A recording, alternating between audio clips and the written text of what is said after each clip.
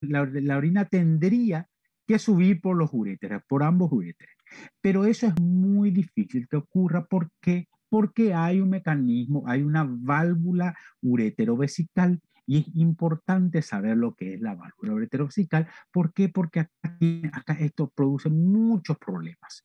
Primer punto, la válvula ureterovesical tiene esta característica. Voy a hacer un dibujo, no soy bueno, pero bueno. Lo primero, lo más importante de la válvula vesical es lo siguiente, es que el uréter entra de forma tangencial en la mucosa vesical o en la pared vesical.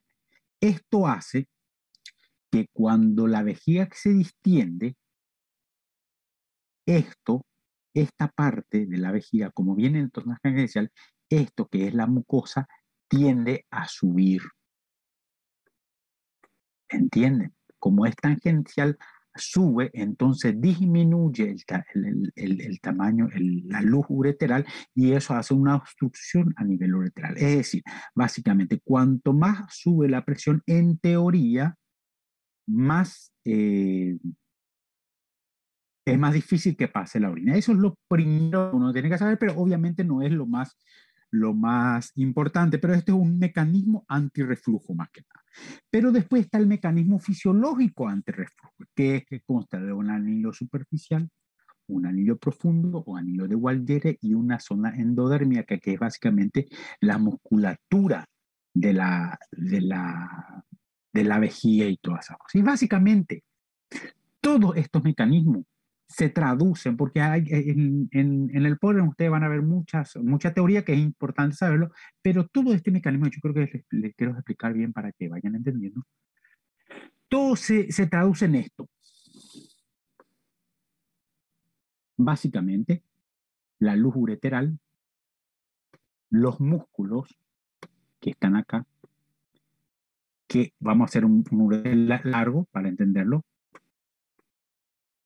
los músculos de la capa media principalmente, normalmente están en la parte media del uréter, van de, en esta dirección. Las fibras musculares van en esta dirección. ¿Estamos? Al llegar aquí, al llegar a la parte distal, los músculos empiezan a tirarse así. ¿Me entienden? Empiezan a hacerse más longitudinales que transversales. ¿Entienden? Entonces, y acá voy a intentar, es, difícil dibujar esto porque realmente yo no soy, no soy dibujante y menos todavía en una computadora. Eso hace que el anillo, voy a intentar hacer algo medio tridimensional, que los anillos empiecen a tirar para este lado.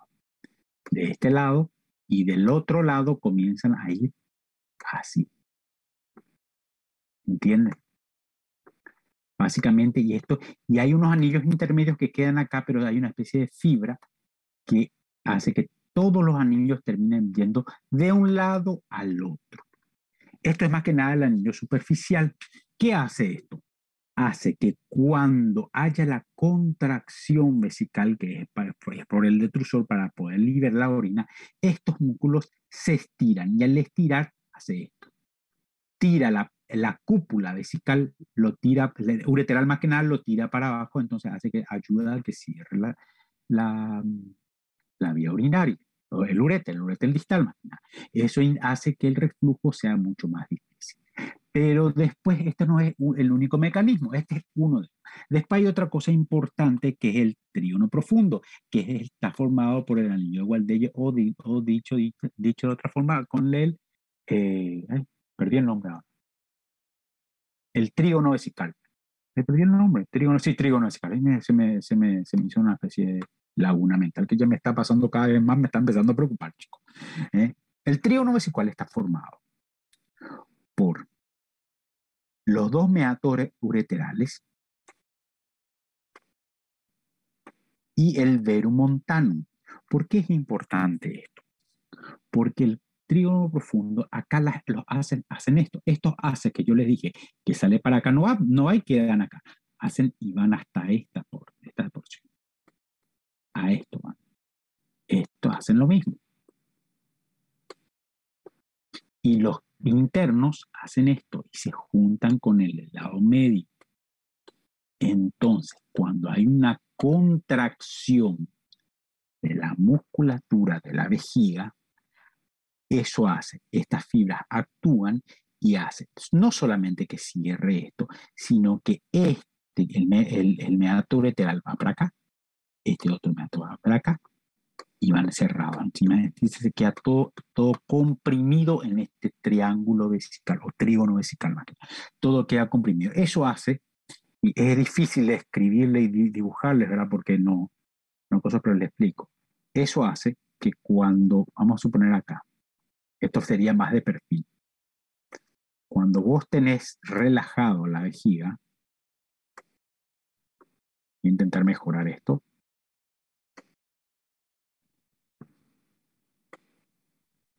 Cuando vos tenés relajado la vejiga está así, pero cuando vos tenés comprimido o comprimiendo la vejiga o haciendo el esfuerzo para orinar, estos uréteres terminan acá.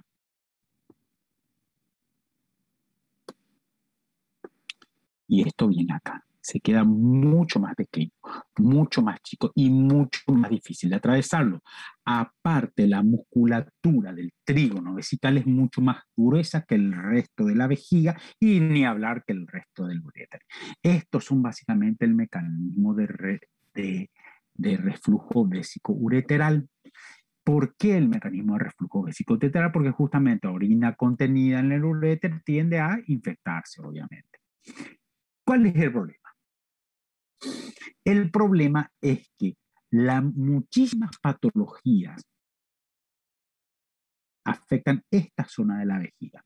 Al afectar esta zona de la vejiga, todas las patologías que afecten esto pueden producir un reflujo vésico-ureteral y complicar un poquito las cosas. O pueden o incluso o tapar la el, el meato ureteral o directamente dejarlo impermeable. También muchos procedimientos, ya vamos a hablar de eso, muchos procedimientos pueden lesionar este, este mecanismo por el cual hacer que haya un reflujo vésico-ureteral. Ese es el gran problema del reflujo vésico-ureteral. Después está toda la teoría, todo lo, que, todo lo que van a leer, que las causas son muchas. La principal causa de lesión a nivel del, del, del, del trígono vesical es básicamente la prostatectomía, la adenomectomía y la prostatectomía. ¿Por qué? Porque vos o por vía endoscópica, que todavía nosotros no hablamos mucho de eso, obviamente, ya lo vamos a hablar en su momento, o por vía abierta nosotros podemos lesionar y normalmente se lesiona esta zona. Lo deja más débil y por eso tiene más predisposición a tener reflujo vésico ureteral. Ahora, hay otros mecanismos, obviamente, los mecanismos congénitos. Hay eh, el reflujo vesículo-ureteral congénito, que, no es iatrogénico, es congénito, no tiene nada que ver. Hay, otros, hay otras patologías como el ureterocele, que básicamente el ureterocelo es una bolsa que aparece acá a nivel del uréter, que hace que la orina, en vez de salir a la vejiga, queda contenida en, una bolsa accesoria prácticamente del uréter, que hace que el mecanismo de continencia acá sea mucho menos efectivo, por lo cual la orina vuelve al uréter y lo único que produce es reflujo, eh, básicamente uronefrosis y infecciones urinarias a repetición. Tratamiento de esto normalmente puede ser, dependiendo de la causa, puede ser quirúrgico o si no, puede ser incluso eh, readecuación de la orina del paciente y hay algunos medicamentos que no son muy útiles que pueden ser utilizados que no vamos a hablar mucho de eso porque realmente es muy, muy científico, o mejor dicho, muy de especialista ya. Rápidamente, reflujo básico ureteral, después está la teoría, que es más, que me gustaría que lo lean, es decir, lo tienen que leer, y vamos directamente a, a lo que me interesa, que es, ¿qué va a hacer? Esto ya lo vimos, esto ya está, denme dos segundos. Ay, perdí. Un poquito. Ahí está. No, lesiones no es lo que estoy buscando. Dos segundos, chicos, me quedo, salgo un poquito porque porque me estoy, es como que me tengo muchas cosas abiertas, entonces se me complica para ver. Ahí vamos a ver si consigo.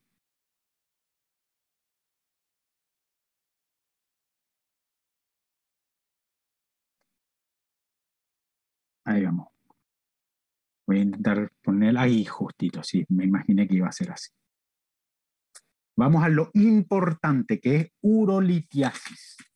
Litiasis urinaria. ¿Qué me pueden decir ustedes de la litiasis urinaria? Ustedes, estoy, estoy compartiendo, ¿no? ¿Me equivoco? Voy a abrir esto. Sí, doctor. ¿Qué saben de litiasis urinaria? ¿Alguien me puede decir? Vamos directamente a la práctica. Porque la teoría es muy linda, pero la práctica es mucho más divertida. Va. Yo de repente yo divertida porque yo soy urologo y me encantan las piedras, pero eh, por ahí ustedes no les están, no están divertidas, qué sé. Bueno, empecemos. Viene un paciente a la guardia de ustedes a las 8 de la mañana, paciente de 52 años con cólico renal. ¿Qué hacemos?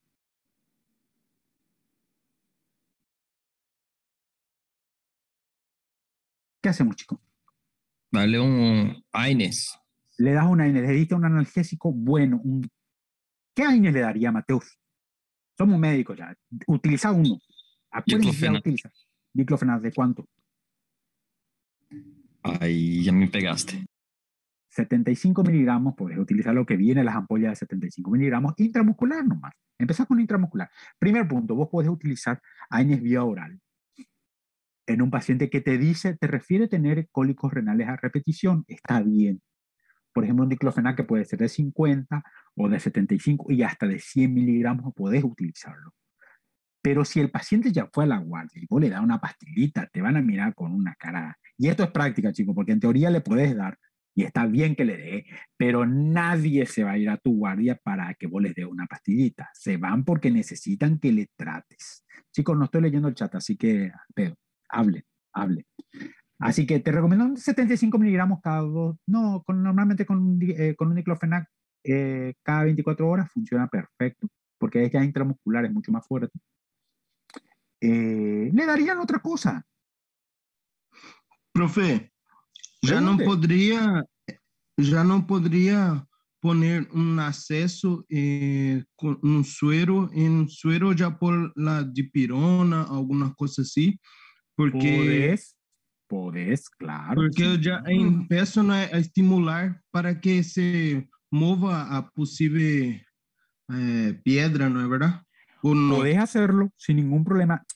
A ver, cuando vos le pones una vía en una guardia a un paciente, ¿cuál es tu objetivo?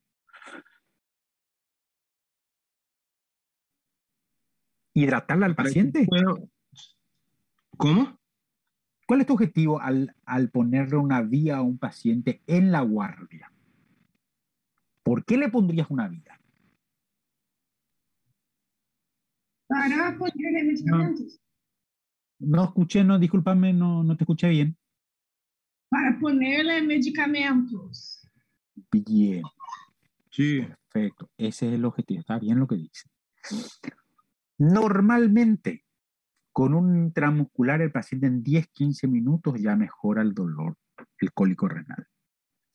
Por lo cual es muy relativo eso, porque a ver cómo les explico. Esto es bien de guardia y es bien práctica. Si ustedes ven un paciente que viene con un cólico renal, pero el paciente es, pero ves que el dolor todavía, y esto es, esto es la vida, chicos, ven que el paciente tolera bien todavía el dolor, es decir, viene y dice, ah, vos sabes que doctor, me está doliendo la espalda hace bastante, y, y, y hice esto, hice esto, y vos sabes que no me pasa, che. Ahí ustedes le pueden poner un diclofenac intramuscular, normalmente con otras medicaciones que ustedes me van a decir, intramuscular y funciona bien. Y les va a funcionar 24, 48 horas, le van a sacar del apuro. En media hora el paciente se va a su casa feliz porque le trataste bien, le dijiste todo, "Ay, te ama y está bien. Otra cosa es un paciente que viene traído por los familiares, el paciente se revuelca de dolor, ¿me entendés? Y el paciente ya le ve mal, y esto es, ojo nomás chicos, no es, no, no hay ningún, ningún librito que les va a decir, hagan esto, hagan aquello. Eso es ojo clínico, ustedes ven que el paciente no te gusta cómo está. ahí utilicen la vía. Y la vía no es poner, pongan una vía, una vía periférica, le ponen un suerito a lo menor posible y por ahí le pasan un diclofenac y otra medicación que ya ustedes me van a decir. ¿eh?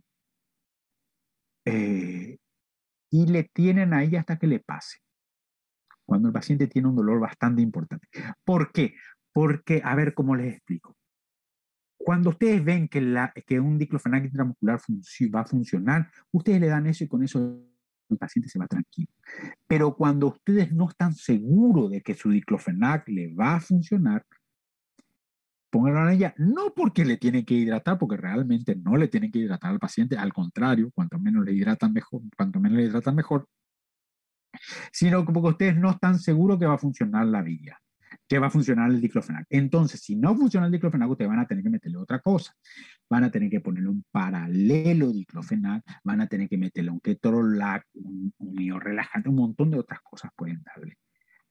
Pero cuando ustedes no ven que va a funcionar, y, mucho más todavía si piensan que, que si no funciona van a tener que internarlo, eh, ahí las cosas cambian, ¿me entienden?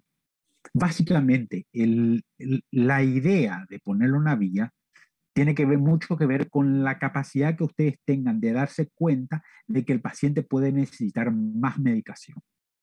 Vía endovenosa, obviamente. Obviamente que la vía endovenosa es mucho más efectiva. ¿Por qué? Porque te trata, te, te, te, te calma en cinco minutos aproximadamente. Pero ya implica, eh, ya, ya, es un trabajo mucho más grande. En un diclofenac por ahí es mucho más fácil de, de ponerlo si, si, si no es tan necesario si ven que el paciente va a andar bien con eso. Y es ojo clínico, no hay otra.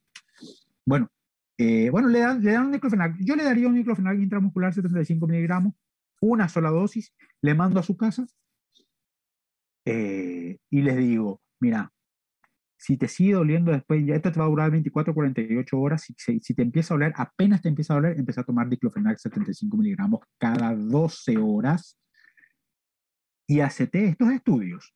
¿eh? Ahora vamos a hablar de los estudios. Ahora, si le van a aplicar un diclofenac, ¿qué más le podrían poner en ese diclofenac para que le ayude? Acuérdense, ¿qué ustedes están pensando? Ustedes están pensando que hay una piedra que está dando vuelta, que le está golpeando el riñón, la vejiga, el uréter, donde ustedes quieran, y le está inflamando. Ustedes le dieron ya un analgésico y ¿qué más le pueden dar? No me digan osina porque le estoy ¿Cómo? Un antiinflamatorio. ¿Cuál? Checo, conmigo es antiinflamatorio, analgésico. Listo, está bien, no está mal lo que dicen. Y no está mal lo que dijiste, ni ninguna duda. Pero jueguense, chicos, jueguense por una medicación. Tengan ya su librito de medicación, su agua de MECUM. ¿Qué le daría? Buenísimo. ¿Cómo?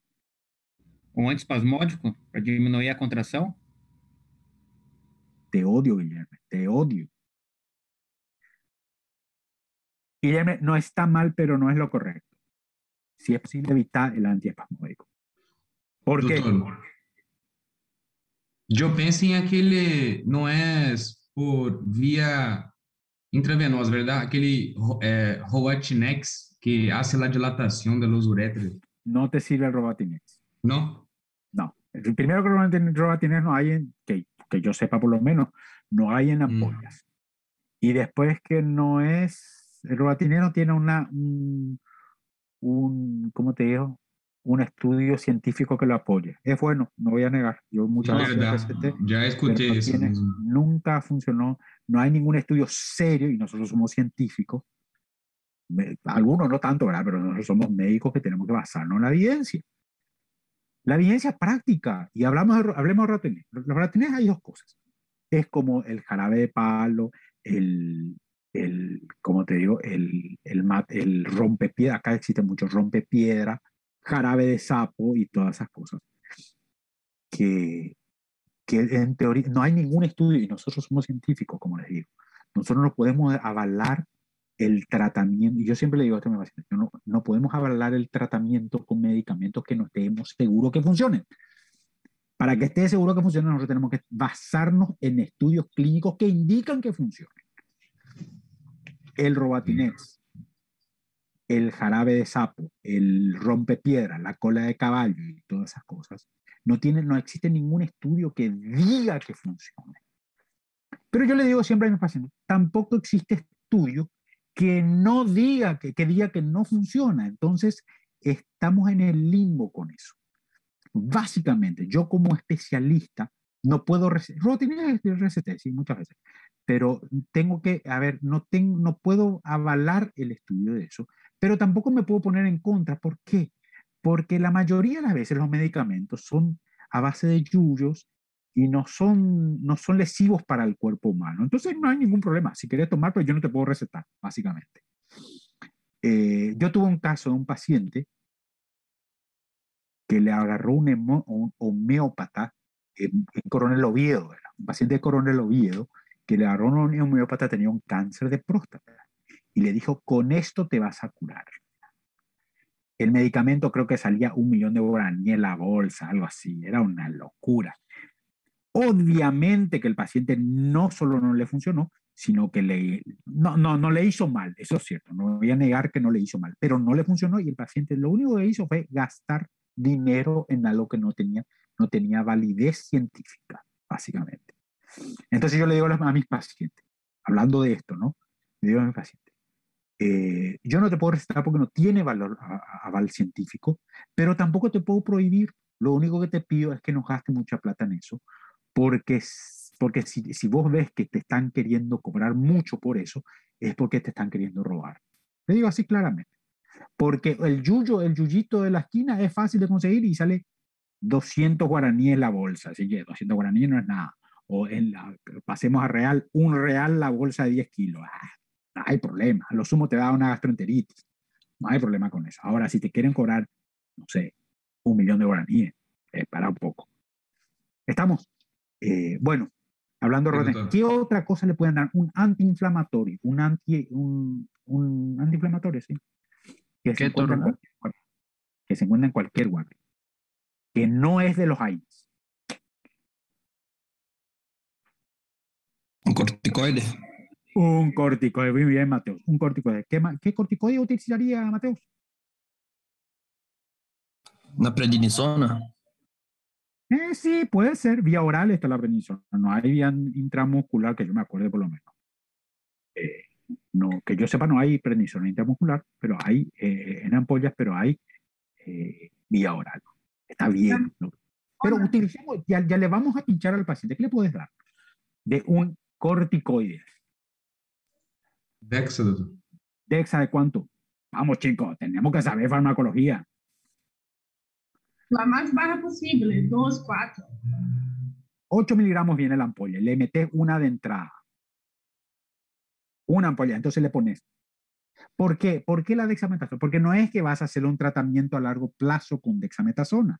Ahora, si vos vas a pensar eh, hacer un tratamiento a largo plazo con dexametasona, ya estamos hablando de otra patología y otras implicancias. Entonces, básicamente le puedes poner un diclofenac y una dexametasona intramuscular y ver cómo evoluciona. A este paciente le hicieron eso. Le pusimos diclo y dexa intramuscular y el paciente anduvo perfecto Bien, doctor, me encantó lo que me dieron, ni siento nada, estoy re bien. ¿Qué hacemos?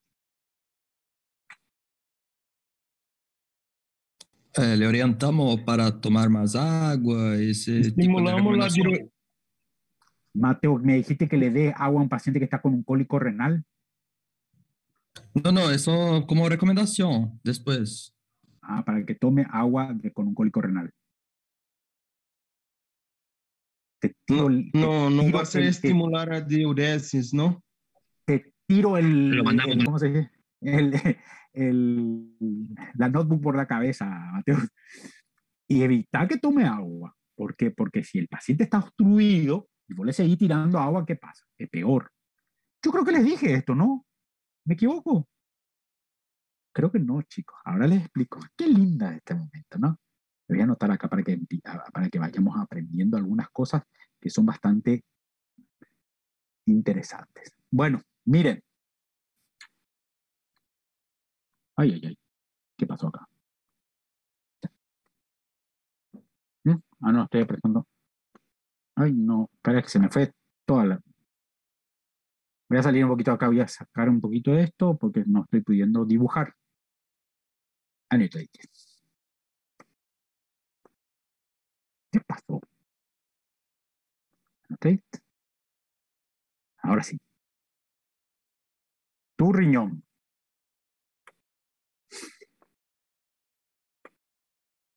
Una piedra de este tamaño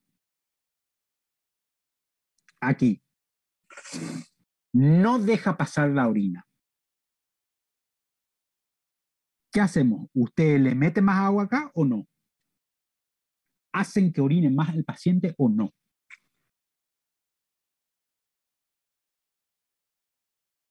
No, chicos, no intenten evitar, le tienen que decir que tome la menor cantidad de agua posible. ¿Por qué? Porque esto es como el tanque de agua. Si ustedes le siguen echando agua a esto que ya está obstruido, ¿qué van a hacer? Lo único que van a hacer es que el riñón aumente de tamaño y le duela más al paciente. No es buena idea. Ahora, nuevo. Si tiene una litiasis acá, pero de este tamaño, chiquitita, el paciente por ahí puede tener un poquito de dolor, pero no lo tiene tanto. ¿Qué le tienen que decir? Ahí es donde tienen que decir que tomen mucha agua. Básicamente, ¿qué le estoy explicando? Cuando ustedes tienen un cólico renal, lo más seguro es el paciente esté obstruido. Si está obstruido en ese momento, lo mejor que pueden hacer es decirle que tome poca agua. Porque si ustedes siguen cargando un globo que ya está hinchado, le va, se va a hinchar más y le va a seguir doliendo al paciente. Ahora, le dicen al paciente, cuando no te duela más, obviamente no en las primeras 24 o 48 horas, ¿por qué? Porque puede ser por el efecto del analgésico. Cuando no te duela más, tenés que hacer exactamente todo lo contrario, dar, tomar mucha agua para intentar echar la piedra. ¿Entendieron más o menos cómo es el tema? Cuando está obstruido, eviten darle agua y cuando no está obstruido, intenten que orine lo máximo posible. Más o menos creo que entendieron, ¿no? Bueno, listo. Le dijeron que tome mucha agua y les mato, te mato, Mateo, ¿eh? pero el, le, ahora, ahora que ya saben por ahí, le pueden, le pueden indicar que no tome tanta agua, que evite tomar agua. Tampoco es que no tome, obviamente, pero que evite tomar agua, porque eso le va a ayudar con los dolores. Está bien. Profe. Pregunte. Entonces no es bueno estimular la diuresis, por ejemplo, con, no. con diurético, estas cosas. Cuando el paciente está en cólico renal, cuando el paciente le está doliendo, ¿en serio? No. Es un, eh, no es, mucha gente comete ese error. No es buena idea. ¿Por qué? Porque le va a persistir, le va a persistir el dolor. No es buena idea. Lo ideal sería que no le den, no le den la menor cantidad de agua posible. Por eso cuando le ponen una vía, le ponen al, al menor goteo posible. Existe excepciones. ¿Cuál sería la excepción? en un paciente que está con cólico renal, ¿cuál sería la prescripción? Que ustedes le vean deshidratado, que ahí sí es bueno hidratarle, porque ahí entre el cólico y la hidratación yo prefiero hidratar al paciente. ¿Estamos? Entonces todo el tratamiento... ¿Cómo? Todo el, tratamiento va, el tratamiento va a ser antiinflamatorio y analgésico. Y analgésico. Con eso, con eso vamos a andar bien. Al, ustedes están en una guardia, ¿eh? no le estoy hablando del, todavía no hicimos nada. Usted, y vino un paciente con cólico renal, nada más. ¿Qué más hacemos? Una imagen. ¿Qué imagen vas a usar, Mateus? A princípio, um radio X e se não veo nada, um no, na ecografia. Bueno, perfecto. Perfecto, eso quería escuchar. Vamos a Vamos a salir de acá un ratito y les voy a mostrar la radiografía. A ver si les tengo acá.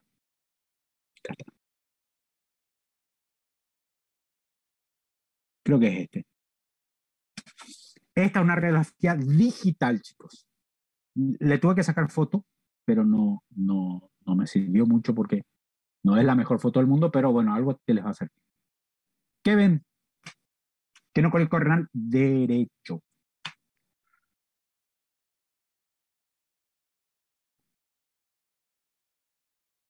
¿Qué ven en una radiografía de estas? Es el mismo paciente lo que le voy a mostrar después. No veo nada. Nada. No ven nada. Yo tampoco veo nada. Lo único que, a ver si se puede ver. Vamos a intentar mirar un poquito. Espera. Voy a intentar bajar un poquito. A ver. No se ve nada, chicos. No se ve nada. Esta es la radiografía que te, mandó, te mandaron esta radiografía. ¿Qué hacemos? Pedimos eco. Pediu uma eco Doppler. Vamos a pedir una eco Doppler. ¿Por qué una eco Doppler? Para mirar o flujo como está. ¿Qué buscas en un flujo?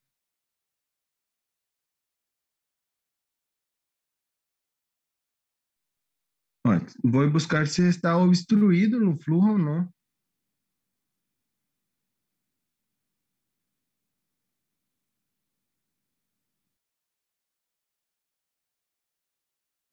Doutor, é, hacer una e- ecografía normal, buscar una dilatación de los uréteres, del riñón.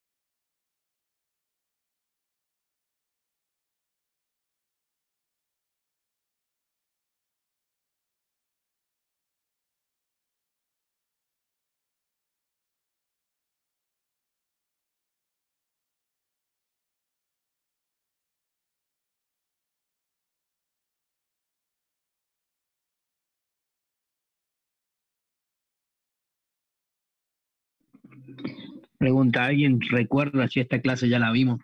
A mí me parece que ya la vimos.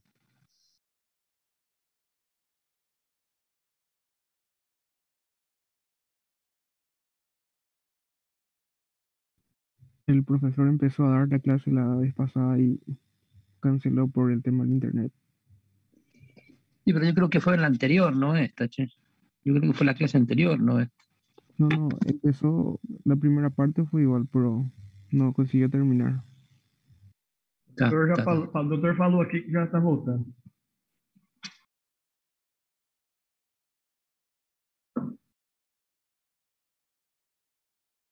¿Sabes por qué pregunto? Porque yo tengo hasta resumen hecho de esta, de esta clase.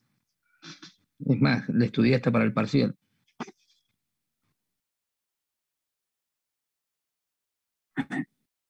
Es espectacular. Bueno, ¿en qué andamos? Ah, le voy a mostrar el. bueno, primer punto, el Doppler testicular, el Doppler, eh, el Doppler renal te sirve para ver flujo renal, pero eh, el flujo arterial y venoso renal. Y es muy interesante cuando uno sabe hacerlo. Pero primer punto, el tipo que te hace un Doppler renal es un capo. No es fácil hacer una, una ecografía de Doppler renal. Creo que me están escuchando, ¿no? Doctor. Ah, bien, perfecto, perfecto. perfecto. Entonces, eh, eh, no es difícil, es muy difícil. Yo intento y me sale más o menos encontrar las arterias de la vena renal y llego a eso. Ver más del flujo renal es difícil. Por eso, en una, eh, cuando tienes un pólipo renal, lo, no te va a servir mucho, no te va a informar muchas cosas. Sí, una ecografía común, una ecografía renovesico-prostático, o renovesical o una ecografía renal. Eso sí te va a servir. ¿Y qué es lo que vamos? Ahora te les voy a mostrar lo que vamos a encontrar. Déjame que lo estoy buscando acá. Tengo un montón de... Ay, no, esto no es. Deme dos segundos. Estoy buscando el resumen porque me mandaron un resumen que les va a gustar.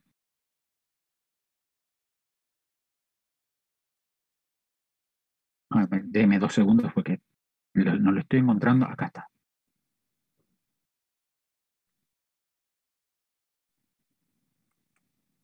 Bueno, se me, pasó para otro lado, pero igual. Me mandaron este estudio, le, pidieron un laboratorio, estoy seguro que ustedes le iban a pedir un laboratorio, por eso ya les muestro el laboratorio antes que nada. Este es el laboratorio que llegó, hoy vi esto, ¿eh? Mira. No, no, no es, disculpan, hace unos días. Este es el laboratorio. Deme un minuto, chicos. ¿Ven? Para empezar, déme un minuto, voy a hacer algo y vengo. ¿Mm? Un minuto mientras eso leen y vean lo que, que, que- que de raro encontraron acá.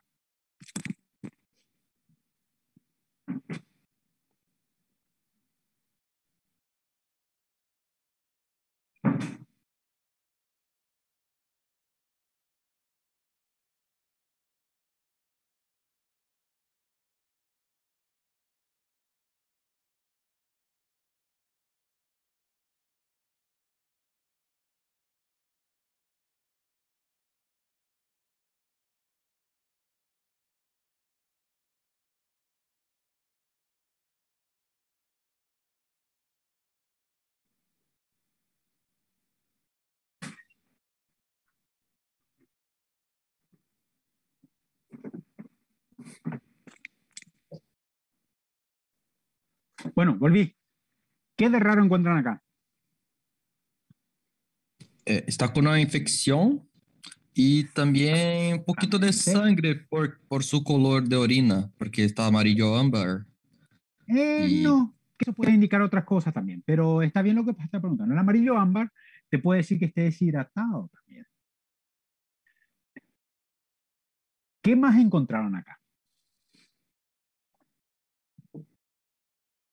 Hay muchas cosas que encontrar acá. La creatinina está aumentada también. Exactamente. La función renal. Eso es función renal, exactamente. Muy bien. Glucemia. Leucemia aumentada. Mira un poco. Qué interesante. ¿Algo más? No. Está perfecto, chicos. Eso es, este es el laboratorio del paciente. El paciente tiene 15.000 blancos. ¿Qué te indica eso?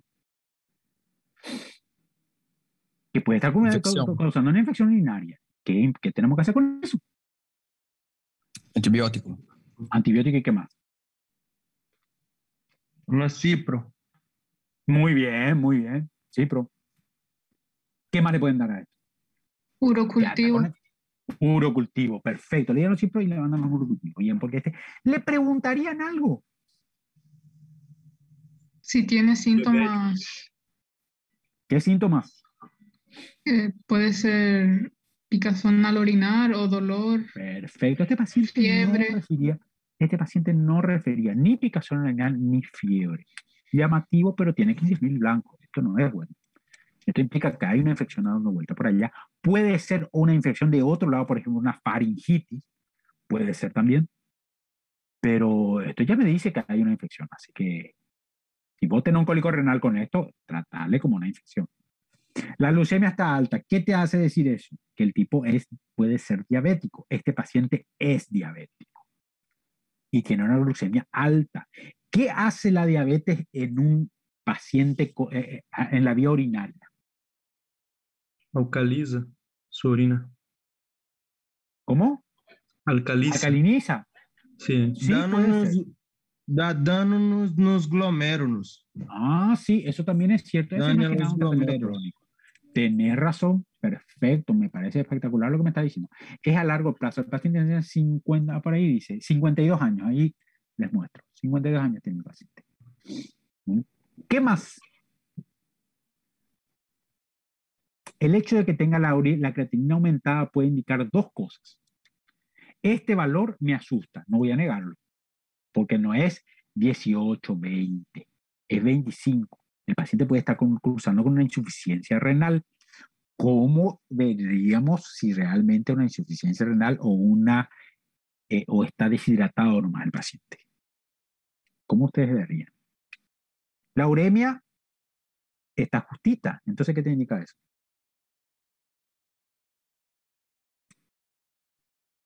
Bien capaz que el paciente esté un poquito deshidratado nada más, por eso tenga eso, porque la uremia está normal. Entonces, esto, esto como que es bastante inespecífico en este caso. ¿Cómo ustedes van a ver si realmente está con una insuficiencia renal o una o otra cosa?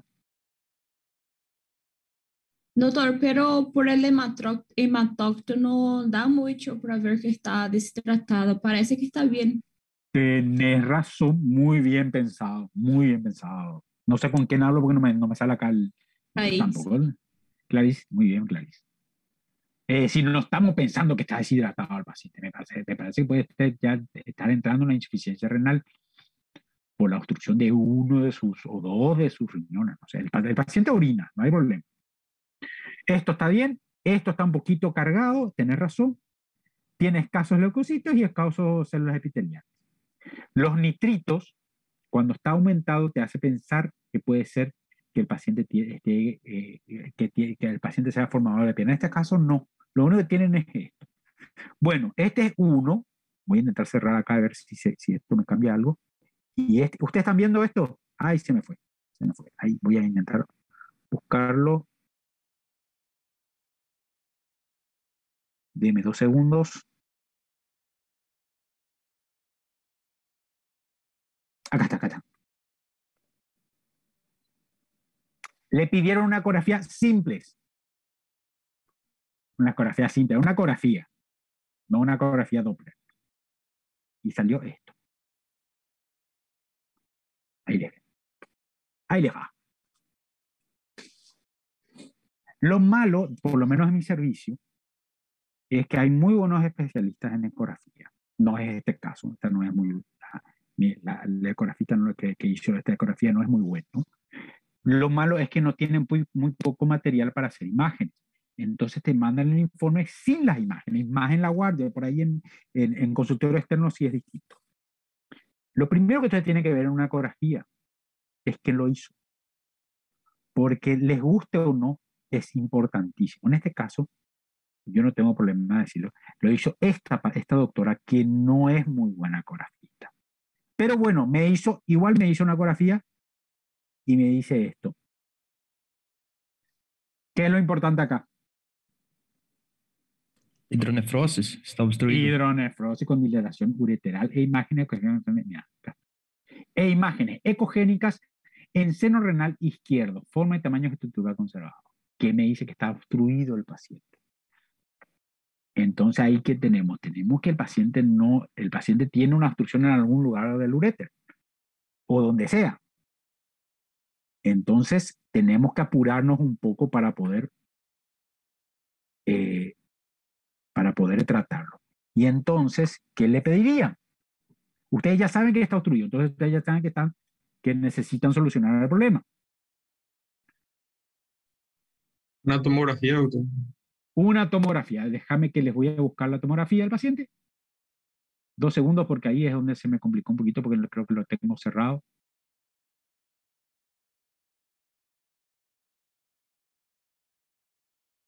Dos segundos que está difícil acá esto.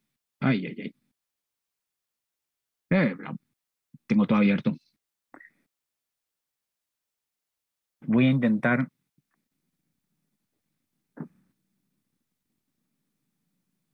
ver la tomografía. Dos segundos.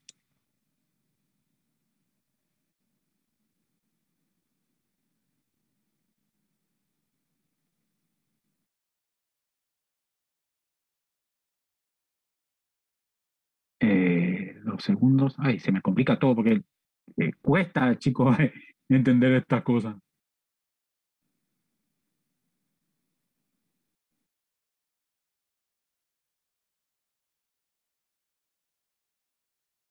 Ahí estamos. Ahí estamos. Ahora sí. Acá está. A ver si les puedo abrir y mostrar.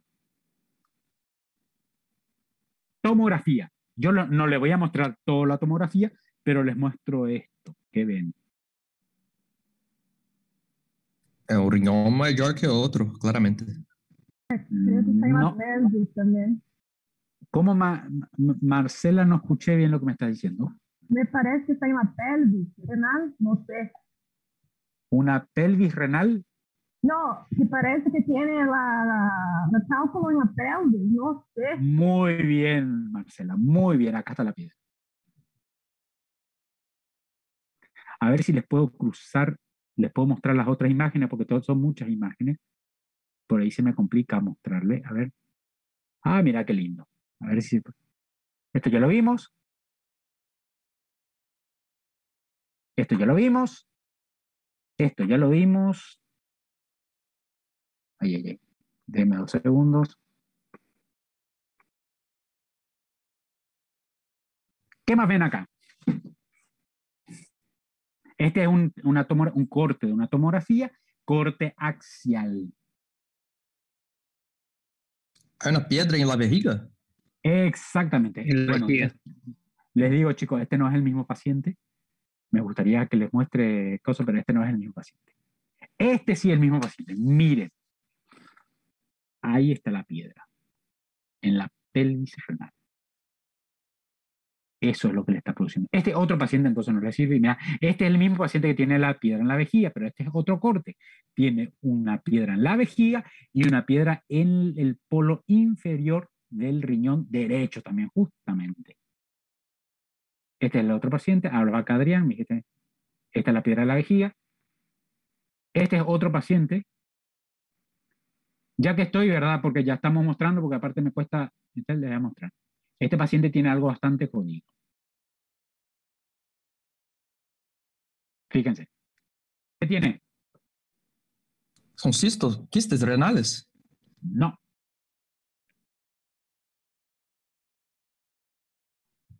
Un riñón poliquístico. No. No es la hidronefrosis. Una hidronefrosis severa con Ah. pérdida del parénquima renal. Este es, a esto es donde no tenemos que llegar. Este paciente lo operé la semana pasada, creo que yo les dije. Le saqué un litro de pus del paciente. El paciente fue a terapia, tuvo un shock séptico y murió.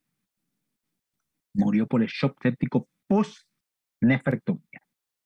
Una tristeza para mí esta semana porque para mi paciente murió por- después que yo le operé, pero era impresionante. El paciente hace siete años que tenía que operarse, él no quiso operarse y vino a última hora con todo esto era pus. Todo esto es pus. Al ser pus, el tratamiento es una nefrectomía simple, que no fue tan simple porque estaba todo obstruido. Eh, tuvimos que sacar un, lit- un litro de pus, chicos. ¿Sabes lo que es un litro de pus? Sacamos un litro de pus, el paciente no resistió el postoperatorio y falleció. El paciente vino porque tenía una fístula ya, en, en- una fístula acá, y salía pus por la fístula. Y cuando he visto la tomografía dije, no, esta tiene que entrar ya. Porque el paciente vivía con fiebre, vivía en mal estado general, era un paciente de 73 años, en muy mal estado general ya vino, y bueno, no hubo caso. A esto es donde no tenemos que llegar. Espera, voy a, voy a, voy a bajarle un poquito ahí. Ahí, ahí, ahí. Espera. Bueno. Ahí estamos. Esas son todas las imágenes que tengo. Eh, voy a salir de acá. Básicamente, ¿qué vieron entonces? Que el paciente, ya vimos otros pacientes, ¿verdad? Pero ¿qué vimos? Vimos que el paciente vino por un coleco renal, le hicieron lo que tenían que hacer, le hicieron una tomografía por la uronefrosis que tiene el paciente y encontraron una litiasis en la pelvis renal. ¿Qué hacemos? No, chicos, no le voy a preguntar qué hacemos porque este es, el objetivo de la clase, justamente. Vamos a la teoría entonces. Es una práctica. Ahora vamos a la teoría. Urolitias. El paciente que recién estuve hablando con usted, y es un paciente real, no le estoy inventando el paciente, ya vieron el caso. Es un paciente, es un, un, un, un, chofer de larga distancia, maneja colectivos. Eso implica que, y, eso, y eso tiene mucho que ver también con lo que es la formación de las piedras. Empecemos con la parte teórica ahora porque es bastante larga. Las litiasis renales, ureterales, vesicales son muy frecuentes en urología, pero tiene sus factores predisponentes. Y ahora le voy a agrandar esto, que le va a ayudar. Eso tiene sus factores re- predisponentes y los factores predisponentes son principalmente un pH ácido, una orina cargada, fíjate que este paciente tenía una orina eh, amarillo, amarillo caoba, es decir, bastante cargada. Un, eh, la fuerza iónica es, tiene que tener muchos solutos en la orina y eso hace la, ayuda a la formación de las piedras. Realmente la etología, la causa exacta de la formación de cálculos todavía, siendo, todavía sigue siendo especulativa, es decir, no se sabe con exactitud por qué existen eso. Obviamente que tenemos factores predisponentes, los factores predisponentes son eh, los factores ambientales, los factores del paciente en sí, y después, y después tenemos tanto inhibidores como, inhibidores como facilitadores. Están las teorías de la formación del cálculo, que son la teoría de la nucleación, que básicamente es cuando la orina está muy cargada, o mejor dicho, muy concentrada, los tanto los auratos como el calcio y todas esas cosas con los elementos formes de la orina se van enucleando y eso una vez que forma un pequeño calculito sobre él se empiezan a formar muchas más eh, muchas, muchas se, van depositando cálculos, o mejor dicho, eh, elementos eh, sólidos y forman el cálculo que va creciendo el tamaño. Esta es la teoría más, más aceptada, pero no, hasta ahora no hubo ningún, ningún estudio científico que demuestre claramente que es la teoría correcta. Después está la teoría inhibitoria, que hay mucho. ¿Por qué? Porque en la orina hay muchos inhibidores de la formación de cálculo, que es el magneto, el citrato y el pirofosfato. Estos normalmente cuando están evitan la formación de cálculo, pero en, ciertos, en ciertos pacientes hay un déficit de estos inhibidores por la cual se forman los cálculos. Ninguna de las dos teorías fueron probadas todavía. Los inhibidores urinarios son estos, que no les voy a explicar mucho de esto, porque es, es bastante largo, lo que sí les voy a, les voy a hablar es la clasificación de los cálculos. La los cálculos se dividen en dos grandes grupos. El primero son los cálculos de calcio. Los cálculos de calcio corresponden al 80-85% de los cálculos. Básicamente, la mayoría de los cálculos son producidos que tienen calcio. Pero el problema es que normalmente no, es no son calcio puro, son calcio eh, eh, unido a pirofosfato, monofosfato, trifosfato, ácido úrico, santina, un montón de otros elementos que forman, conforman los cálculos.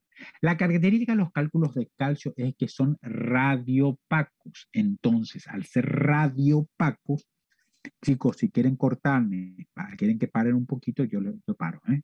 Radiopacos eh, se pueden ver mucho mejor tanto en la tomografía como en la radiografía. Convengamos que la radiografía es mucho más difícil de verlo, pero bueno, imagínense lo que... Fíjense, la, la radiografía que vimos hace un ratito no se veía nada, sin embargo el paciente tenía un cálculo bastante marcado. ¿Por qué? disculpe, pero creo que también estaba mal la técnica. Yo, yo he visto eh, litio de, de, esa, de ese tamaño, yo los he visto en, en abdomen Muy bien, Javier. Obviamente, muy bien dicho. Esta esta técnica, e, esta radiografía no se veía muy bien. Y realmente no pude manejar, porque es una radiografía digital. La ventaja de la radiografía digital es que puedes atenuar o, aumentar la, la, intensidad del, del, de los rayos en el post ya después de sacarlo. En este caso no me acuerdo por qué no lo saqué, creo que ya sé, creo que sé, creo que sé por qué. Creo que no lo hice ¿por qué? porque ya sabía que tenía la ecografía y ya sabía que le estaba haciendo la tomografía. Entonces, como que dije, ¿para qué le voy a me andar preocupando? Le saqué foto nomás y listo. Tenés razón. Si podés mejorar la, la, imagen por ahí vas a poder verlo mejor, pero igual eh, no es fácil verlo. ¿eh? Em, seguimos. Los de calcio tienen esa característica. La mayoría son de cálculos y la mayoría pueden verse en una tomografía, en una radiografía y todas esas cosas. Fíjate que en la ecografía en este caso también se vio. ¿eh? Eh, normalmente cuando son múltiples cálculos están relacionados a todo este tipo de enfermedades genéticas que le pueden ayudar, que no les voy a preguntar mucho sobre esto porque realmente ni yo entiendo mucho sobre esto, así que no es necesario.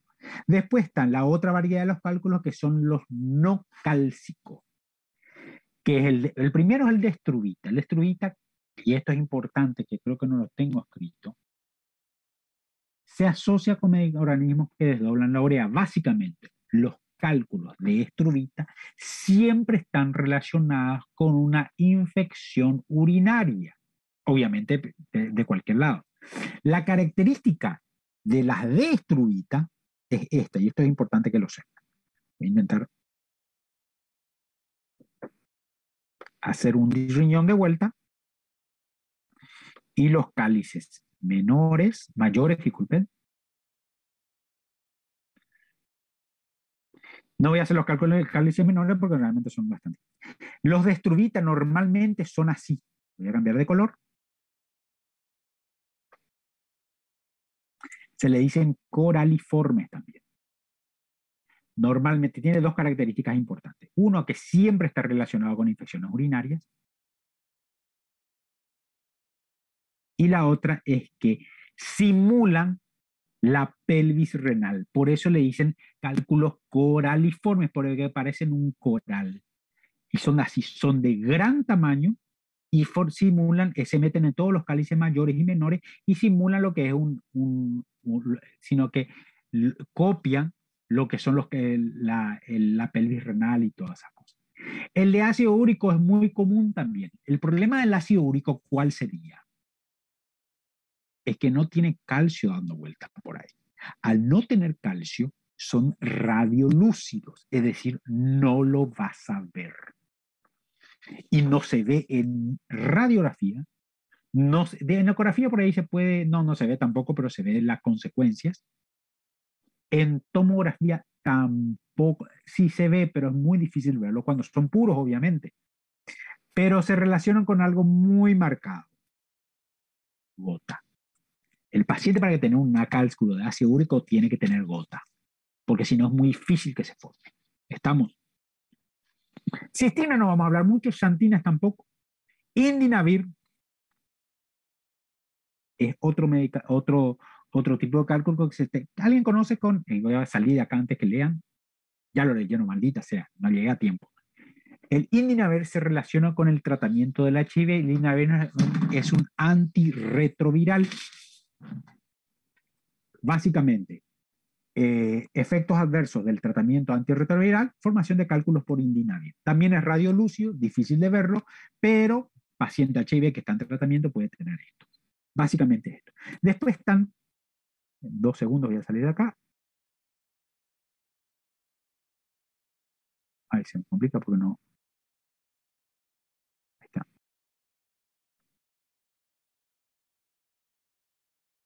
Ay, odio cuando. Doctor. Pregunte. Eh, um cálculo de ácido úrico não pode passar em um, um homem que sofreu una desidratación severa, por ejemplo, y después al rehidratar no cálcio salió? Básicamente vos me estás diciendo... No, no, al ácido úrico, la, el cristal salió. Se puede, puede ser, no es muy frecuente. La verdad que nunca escuché que un paciente muy deshidratado, que haya, tiene un, que haya tenido un catabolismo grande, por, una, o por un aumento del ácido úrico en la sangre, haya una, una uricemia aumentada y producida que un cálculo. La verdad, nunca escuché, nunca he visto y no me cierra mucho que haya, porque piensen, una deshidratación grande que produzca una, una acidosis úrica muy un aumento del ácido úrico marcado, es algo muy agudo Normalmente para que se forme un cálculo de ácido úrico tiene que tener una hiperuricemia o una, una, hiperurisuria eh, bastante crónica, básicamente. No va a ser así por algo agudo. Normalmente los cálculos no se forman en un día, se forman en meses y años también. Por eso eh, lo que vos pensás no me cierra mucho, no creo que sea así.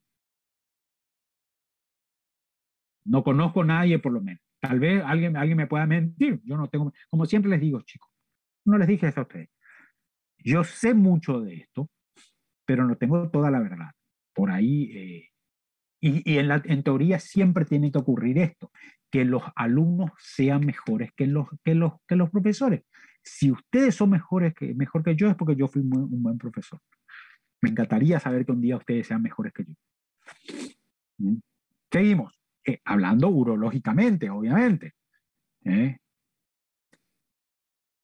A ver, otra cosa.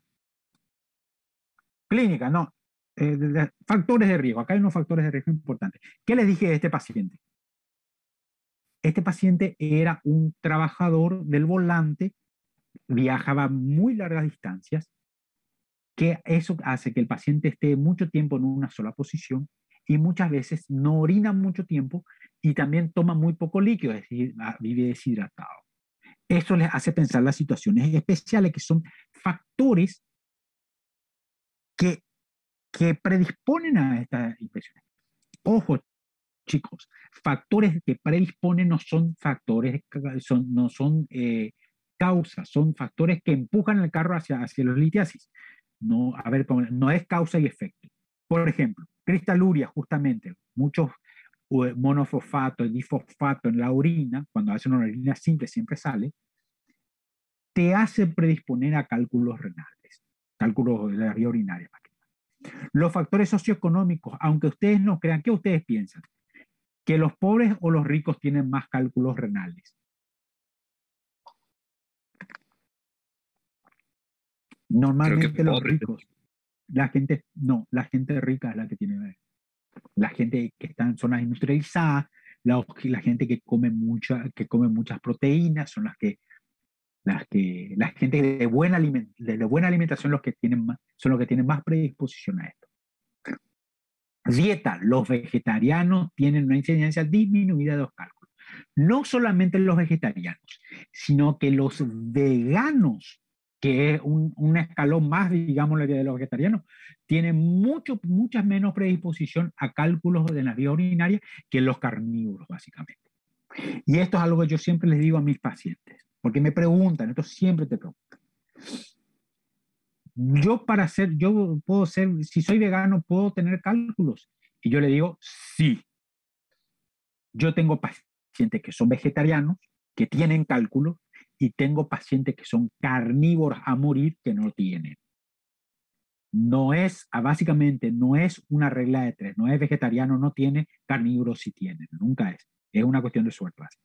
La ocupación es muy importante porque, porque los pacientes que trabajan en lugares donde, básicamente esto, los pacientes que trabajan en lugares donde, donde existe más posibilidad de deshidratarse, de ejemplo, piseros, choferes, eh, y, los panaderos, justamente los que trabajan cerca de lugares calientes, se deshidratan más, por lo cual la orina es mucho más, mucho más concentrada y ellos tienen mayor predisposición a tener eh, litiasis eh, urinaria. El clima, por la misma razón, normalmente los climas cálidos. Historia familiar por la dieta y los medicamentos como el indinavir. Clínica. La clínica, ustedes ya saben, ya la vez pasada hablamos, obviamente puede ser un cólico renal, si es en, el, en, el, en, el, en, la pelvis renal, por ejemplo. En uréter superior puede ir a flanco y en uréter inferior va a testículos o labios mayores. Eh, puede tener amegasturia, infecciones urinarias por una cuestión obvia, y náuseas y vómitos. Normalmente esto ocurre cuando el paciente está con un cólico renal y tiene por una descarga, descarga vagal, tiene eh, también tiene náuseas y vómitos, que te hace confundir, por ejemplo, del lado derecho, ¿con qué te va a confundir? Con una litiasis vesical. Entonces a veces uno se confunde con esto porque el paciente tiene náuseas y vómitos. ¿Estamos? Y esta es la parte que me gusta mucho. Situaciones especiales. Antes que nada, Trasplante renal. ¿Cuál es el problema de la trasplante renal? A ver quién me puede decir. Situaciones especiales en las cuales es bastante difícil tratar estas cosas.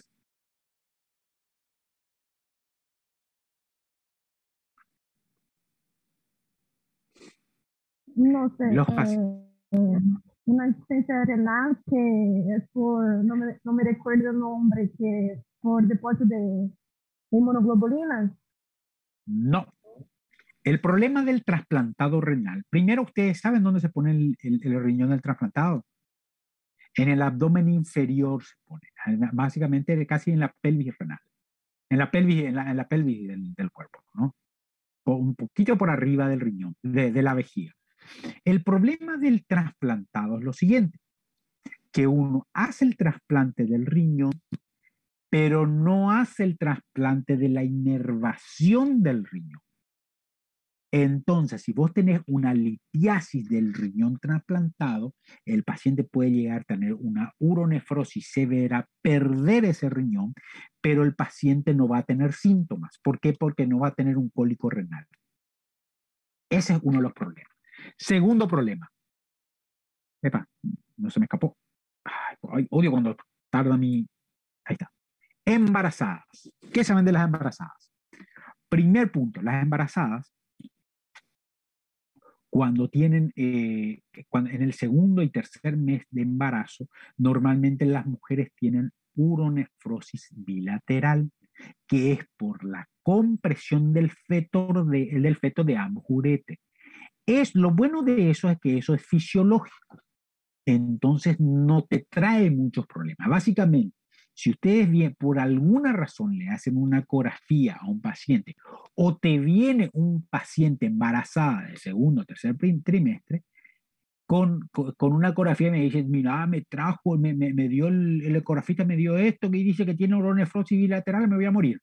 No, eso es fisiológico y normal en los pacientes. Entonces, tranquilícenle al paciente, le digan, no es problema esto, esto se te va a ir cuando, cuando, cuando no acá Ahí vas a tener problemas peores. eh, ese es uno. Eh, después el otro gran problema es lo siguiente. ¿Cuál, es, ¿Cuál sería el otro problema de la embarazada? Eh.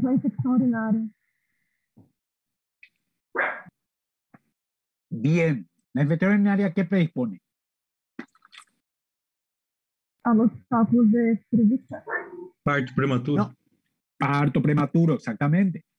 Si usted tiene una infección urinaria, una infección urinaria agregada a un embarazo, tiene un parto prematuro. Pero tenemos otro problema, estamos hablando de litiasis, no de ITU.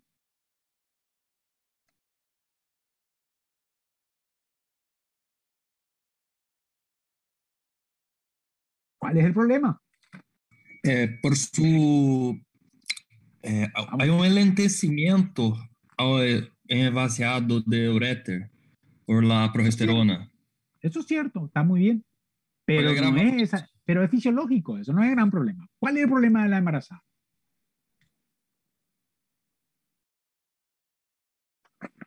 Viene una paciente de 8, meses, de octavo mes de embarazo con un cólico renal. ¿Qué haces?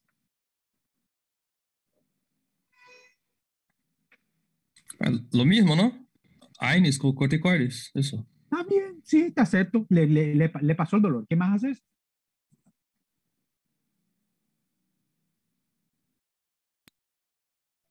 Porque hay que sacar el cálculo porque son 12, entonces necesita de, de mayor flujo, necesita salir ese flujo. Te explico, les explico por qué no van. Primer punto, problema de la embarazada. Problema uno, una litiasis de la vía urinaria predispone a infecciones urinarias que predisponen a parto prematuro.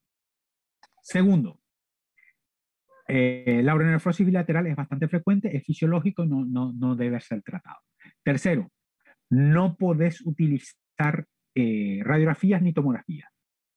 Complica el diagnóstico, porque solamente podés utilizar ecografía para el tratamiento. Cuarto, le tratás Vamos a suponer que yo tuve una paciente que tenía una, que tenía una litiasis ureteral inferior izquierda, pero tenía creo que seis meses de embarazo. No le traté. ¿Por qué? Porque el tratamiento quirúrgico puede, eh, puede eh, eh, ¿cómo te digo? Desencadenar un parto prematuro y eso no es bueno en un paciente de seis meses. Normalmente se intenta esperar, se intenta estirar lo máximo posible y evitar la intervención quirúrgica en una embarazada por el riesgo al parto prematuro. También hay otro problema, podemos suponer que tiene una nefrosis severa y le tenés que poner una nefrostomía. Para poner una nefrostomía le tenés que poner en decúbito ventral, es decir, ponerle boca abajo.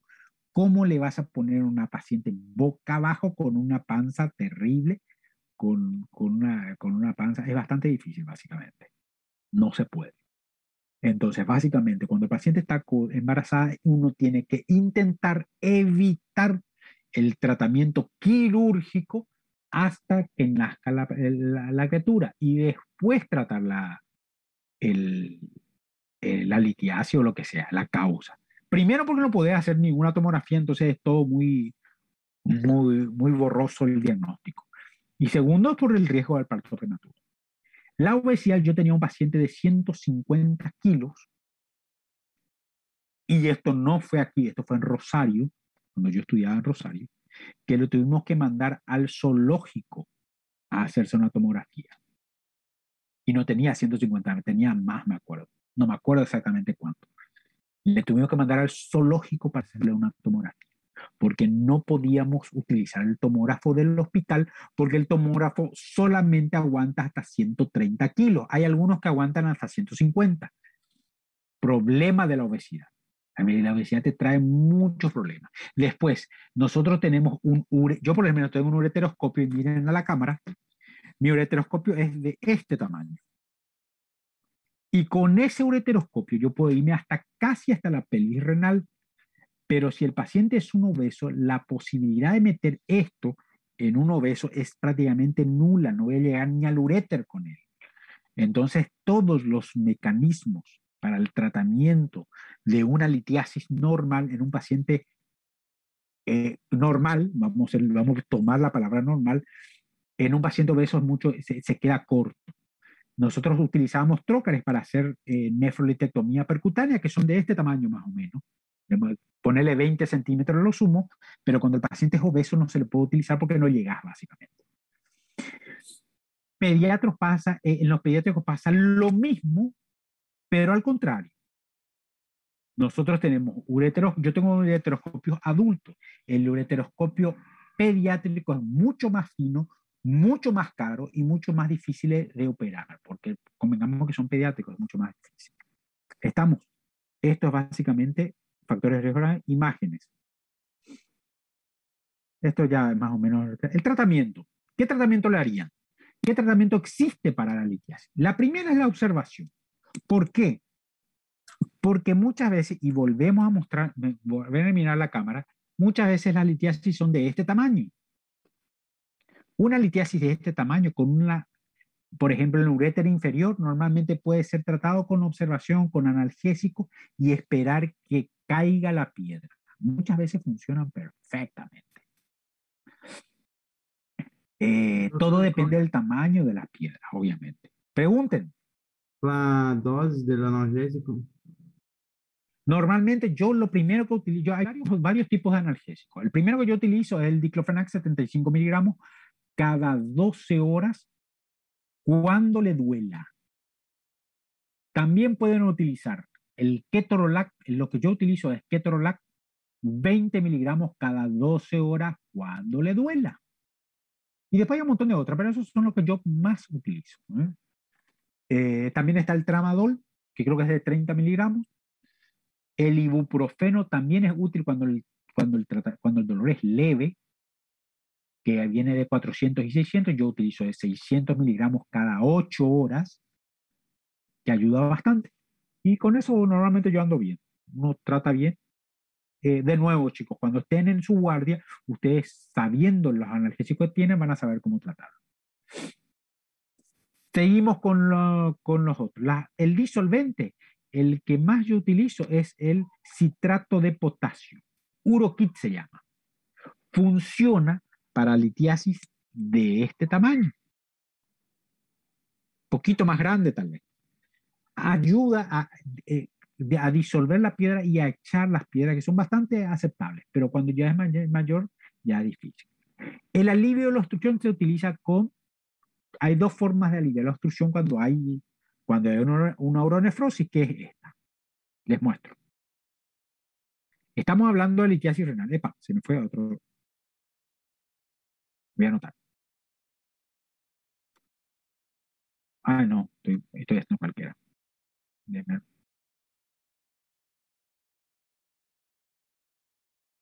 Hago acá el dibujo.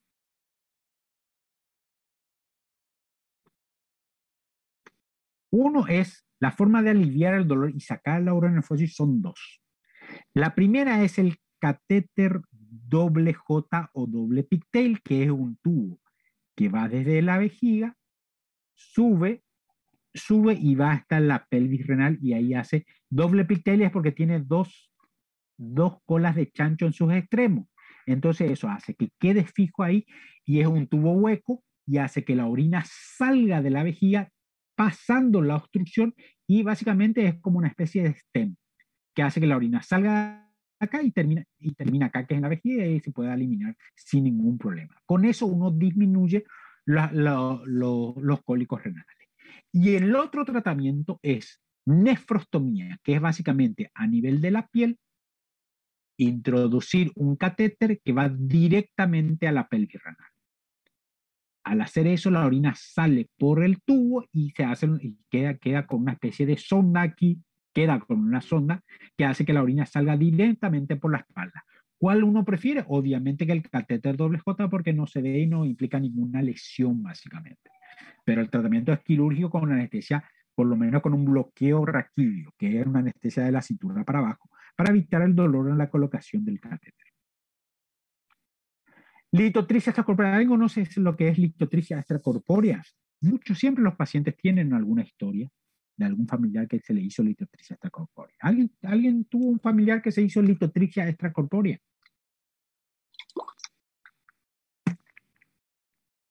Sí, mi papá creo que se hizo. ¿Cómo fue? ¿Te acordás? No, era muy pequeña. Era muy pequeña. Básicamente lo que le hacen es, le hacen una sedación al paciente. Le ponen eh, en, una especie de, en una especie de máquina y miran la cámara a, este nivel, a nivel de la espalda, pone una especie de aparato y el aparato hace esto. Comienza a, hacer pequeños golpes que se irrayan directamente. Ahí ven la foto, hace, hace golpes que hacen movimientos de toda, de toda la grasa y el riñón que va y convergen directamente en lo que sería la piedra. No cambiar de color porque si no convergen directamente donde, va, está la piedra. Entonces eso hace que se rompa la piedra la piedra pueda ser eliminada. Obviamente, la litotricia corpórea funciona hasta las piedras de un centímetro, a lo sumo un centímetro y medio, que se encuentran en alguna zona del riñón o en la parte superior del uréter en la parte media y en la parte inferior del uréter ya no es posible utilizar la litotricia corpórea. ¿Y alguien me puede decir por qué?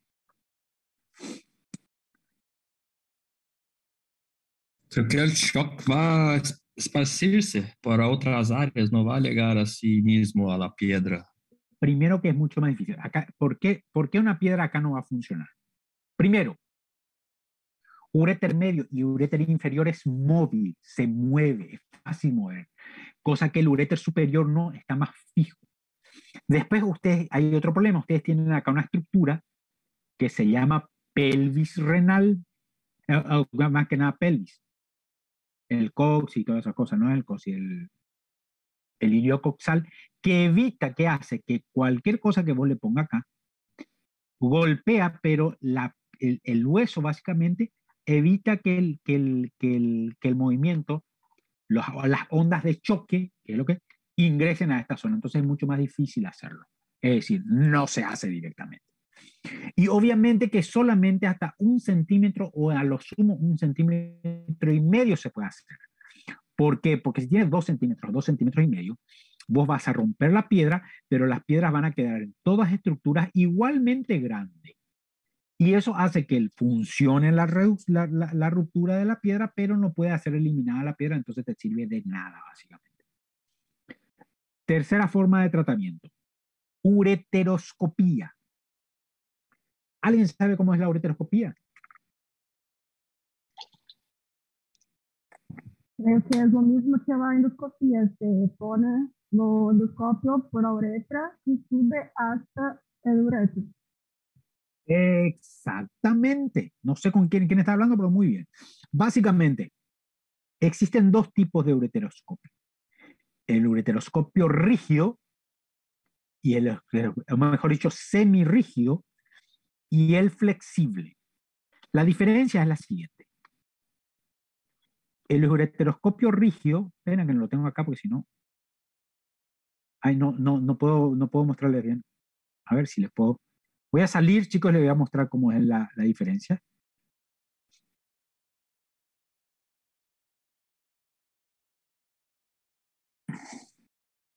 Eh, bien.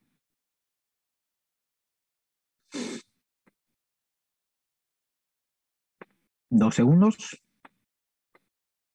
Voy a hacer solamente un riñón porque ya demasiado si te hago dos. El ureteroscopio rígido es una varilla rígida. El flexible obviamente es un, cordón así. Los dos, pena que no lo tengo aquí porque si no, ah, qué pena. No, no lo tengo, no lo tengo. El ureteroscopio rígido, uno entra por acá,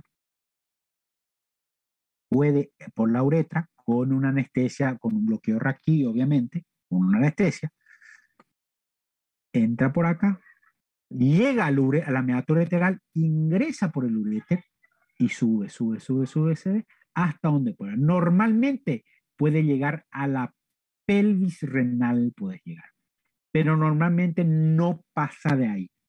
¿Por qué? Porque el largor es lo suficiente, no, no, no, puede ser lo suficientemente largo y porque pasar esto ya puede producir lesión del riñón. Entonces, el ureteroscopio semirrígido o rígido también le dicen, es útil para la litiasis ureteral, ureteral más que nada, tanto superior, media o inferior. Normalmente mucho más efectivo para la media y la inferior. Para la superior porque es un poquito más difícil. El ureteroscopio flexible hace lo mismo, pero como es flexible puede meterse acá, llegar acá, llegar acá, llegar acá. Ventaja mucho para es decir, el ureteroscopio flexible te puede sacar cualquier piedra de la vía urinaria. ¿Cuál es el problema? Les digo cuál es el problema práctico. El problema es que yo tengo el ureteroscopio semirrígido, tengo penas que no le puedo mostrar porque si no les llevaba y le mostraba. El ureteroscopio semi, es más, tengo dos ureteroscopios semirrígidos que me es súper útil, es una belleza. A mí me encanta sacar piedra al ureter, pero yo puedo sacar piedra hasta acá nada más con el ureteroscopio. Quiero comprarme el, semi, el flexible, pero es carísimo. Y vamos de vuelta.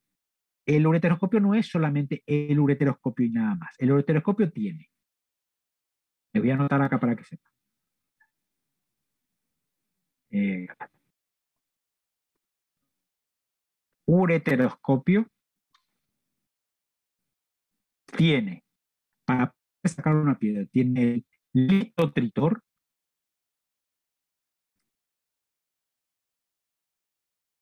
tercero, las pinzas de extracción y por último la cesta de Dornia. Cuatro cosas. Esto yo tengo. Sale caro, chico, es un auto.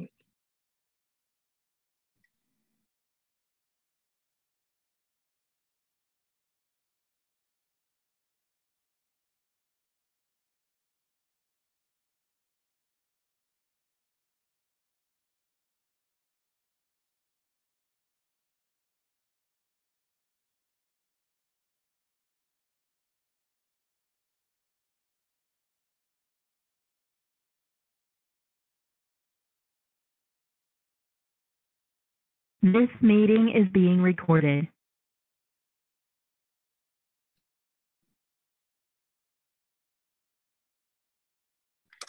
Y láser.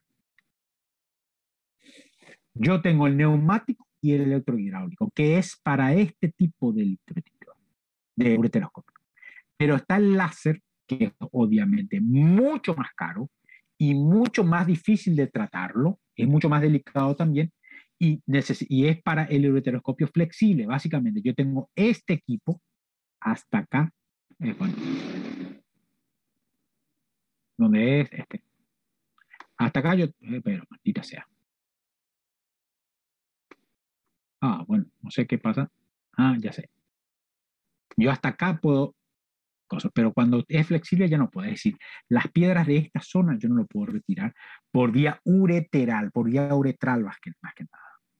Después hay otra forma de sacarlo, que son, básicamente, nefrolitectomía percutánea, que es básicamente hacer un agujerito acá, por él meter un tubo y sacar las piedras que pueden estar tanto acá como acá y como acá. Todo lo que es en el riñón se puede sacar con este tipo. Y si no funciona esto, la otra, la otra opción es hacer una nefrolitectomía abierta, es decir, hacer una cirugía a cielo abierto. Esas son las formas de sacar los, las piedras. Vamos a seguir porque si no, se me va. Tengo una pregunta. Pregunte. Eh, volviendo a, a, la embarazada. Bueno, eh, ¿No se puede hacer una utero, ureteroscopía en este caso? Si tiene alguna complicación con la hidronefrosis, algo así, o por la anestesia también va a tener algún problema con su bebé.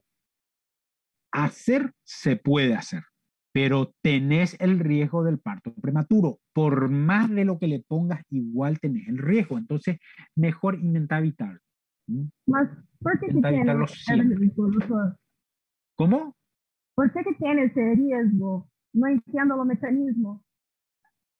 ¿Por qué? Porque vos estás entrando por, el, por, la, por la uretra, que está, pues, después llegas a la vejiga, que está al lado del, del útero, vos entras al uréter que pasa por debajo, a ver cómo te explico. A no ser, eh, eh, sería bueno, pues, esto no creo, no puedo explicarlo en, dos dimensiones, en tres dimensiones sería. A ver. entonces? ¿Eh? Iría por debajo del, del útero y, de, y del, del, y de la criatura, básicamente, y todo es, y hay un movimiento grande de, vas, vas a apretar todo lo que es el útero, vas a mover, y la verdad es que no es buena idea. No es buena idea porque podés desencadenar parto prematuro igual, de la misma forma. Por eso, ojo, cuando no hay otra opción, se hace, pero, sabe, pero la paciente sabe que es peligroso. Chicos, si podés evitarlo, mejor. a ver cómo te explico. Trabajas muy cerca del útero, trabajas muy cerca de la placenta y cualquier error que, que, que, cometas te puede provocar un parto prematuro. Y de nuevo, no sé con quién estoy hablando porque no, no, no leo. Y de nuevo, eh, nuestro objetivo principal es no hacer daño. Si vos podés evitar, hacer, evitar correr el riesgo de hacer daño, mejor. Personalmente, y te digo de otra forma, si yo tengo una paciente que tiene una, nefrosis severa por una litiasis renal y tengo que hacer una ureteroscopía, prefiero personalmente darle vuelta y hacerle una nefrostomía para poder evitar, para poder aliviarle el dolor. La paciente se va con, una, con una nefrostomía y después después de la operación, después del, parto, recién tratar esa litiasis. ¿Por qué? Porque la, la, nefrostomía se hace con anestesia local y es una en la zona, y ahí sí te voy a dibujar. Dame dos segundos que así vamos a...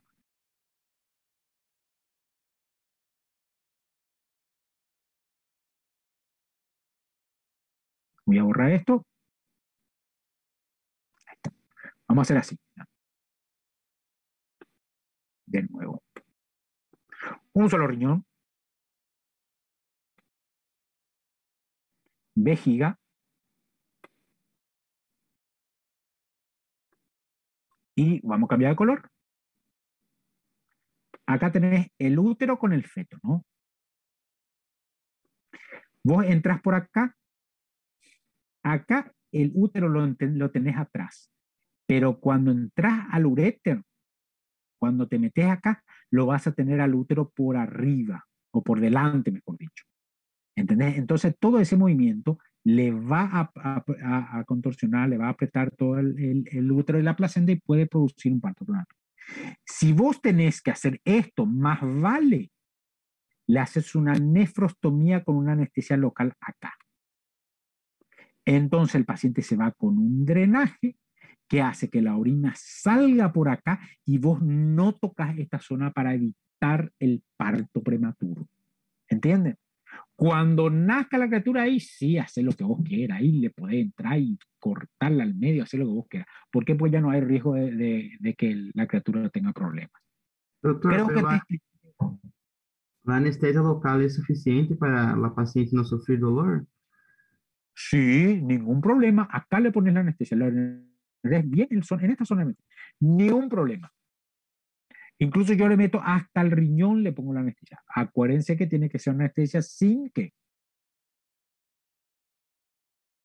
Sin vasoconstrictores, sin epinefrina, yo siempre digo. Sin vasoconstrictores, ¿por qué? Porque, puede, porque, porque el riñón es un órgano terminal. Estamos. Eh, básicamente es eso. Dame dos segundos, salimos de acá.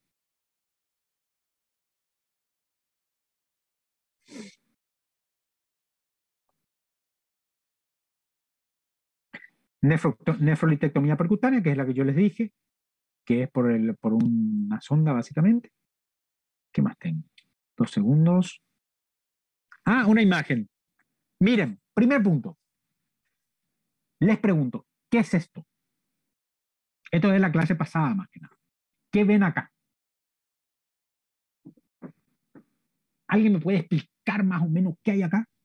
Una sonda. Una sonda. ¿A dónde llega? hasta el cáliz renal. Hasta la pelvis renal está llegando. Pelvis, perdón. ¿Y por qué se ve así esto? Contraste. El contraste, le puse contraste. Entonces, si vos tenés una sonda que llega hasta la pelvis renal, ¿qué estudio es este?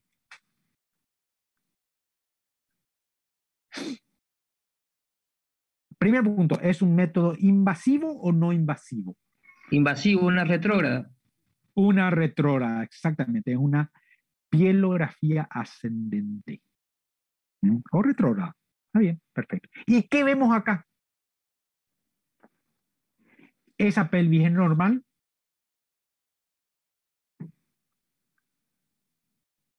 No, está distendida. Está distendida, perfectamente, Javier. Está distendida. tiene una uronefrosis. ¿Ven alguna piedra? Ah, esta es la difícil, esta es la pregunta difícil. Sí, se ve. ¿Dónde ves? Eh, más hacia arriba. Parece como ahí. Esto. ¿Y esto qué es? No sé, parece reflejo de, de ¿Esto qué es? ¿Esto qué es? Esto es el, le explico. Esto es la, son el, las cialíticas o las lámparas del quirófano. Estos son las, las, las, luces accesorias. Fíjate, cuadrado. ¿Viste alguna vez una piedra cuadrada? Ah, viste, no, ya le puse a propósito, chicos. No, no, sabía que era. imposible que sea una piedra. Imposible que sea una piedra cuadrada, exactamente. Este paciente, no, este paciente venía con muchas cólicos renales, pero el paciente no tiene litiasis. El paciente tiene otra cosa rara, que es a que está acá. Fíjense cómo el contraste está acá, pero el uréter prácticamente no tiene contraste. ¿Alguien me puede decir por qué esto está ocurriendo?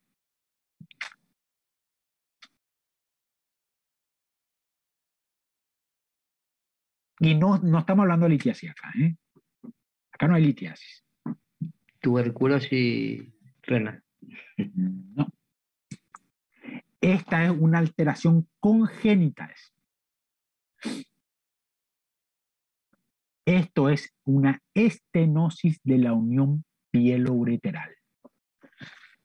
Acá hay una obstrucción externa a la vía urinaria que hace que, la, que, el, contraste llegue hasta acá y le cueste mucho pasar al, ureter, por lo cual tiene una uronefrosis y eso le está trayendo problemas. Tratamiento quirúrgico, abierto encima. Este es el mismo paciente con la misma piedra en otro lado.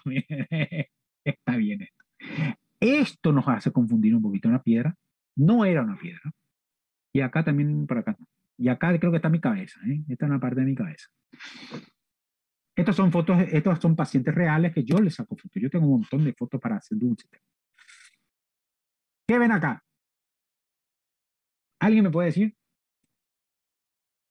Sería el doble J.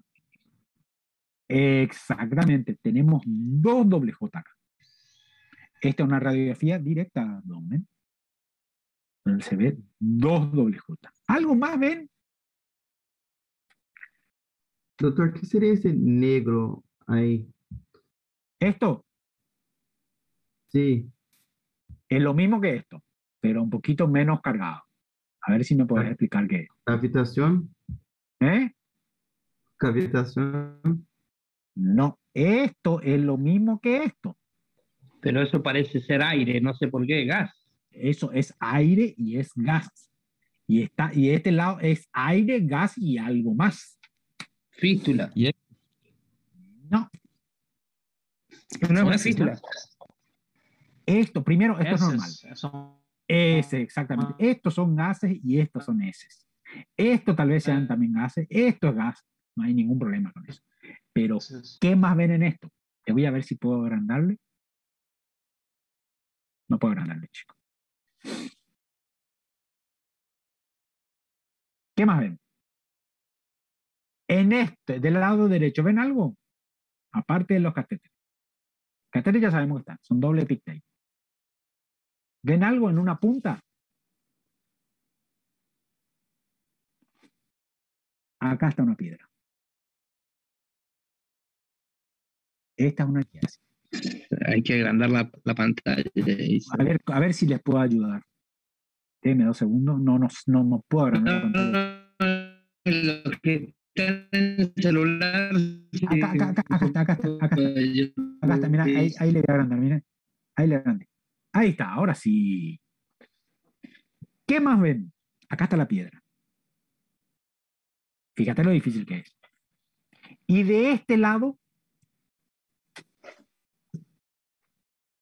¿alguien puede jugarse? Otra piedra. ¿Dónde? Decime. Decime, guíame. Más abajo. A la ¿Acá? izquierda. Acá. No, ahí. Este, acá tenés otra piedra.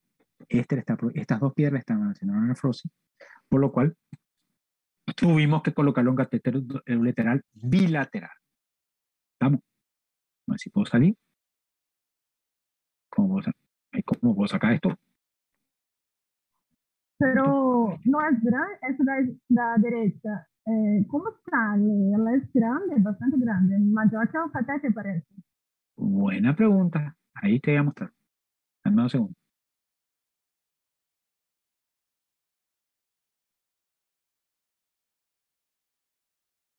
Esta piedra, ¿dónde está? Fíjate, ¿esto qué es? Allá no ves. Esto es la sombra renal que se ve perfectamente acá. Voy a agrandar de vuelta. Voy a, voy a agrandar a ver si cómo agrando. Ahí está, acá. Ah, no, no puedo. Maldita sea. Acá está la sombra renal, que se ve perfectamente de este lado. Y en la piedra está, si vos ves la sombra renal, la piedra está en, el, en la pelvis ti- tirando al, ureter, al, al polo inferior. ¿Cómo lo sacarías a esto? Ay, mira, se me fue el... Podemos hacer. ¿Dónde está? En el riñón está, ¿no? ¿Estamos de acuerdo con eso? Hay tres formas de sacar esto. Una es una ureteroscopía flexible que va a venir por acá, venir por acá, venir por acá, va a llegar acá, va a dar la vuelta y romper acá y sacar la piel. La otra es una nefrolitectomía percutánea, que es meter un tubo por acá y llegar acá y sacar la piedra por acá. La otra es cortar. Hacer una lumbotomía y ir a buscarlo a mano. ¿Este dónde estaría? Vamos a intentar. Acá Ahí- no puedo identificar. Ahí era ureter. Superior, En medio, uréter. Un uréter superior, medio e inferior. Creo que medio. Este está en uréter superior. Creo. ¿Cómo puedo hacerlo? Puedo hacer un ureteroscopio flexible, igual acá, un ureteroscopio semirrígido, que es lo que creo que yo lo hice. Tercera opción, como está en superior, ¿cuánto ustedes piensan que mide esto?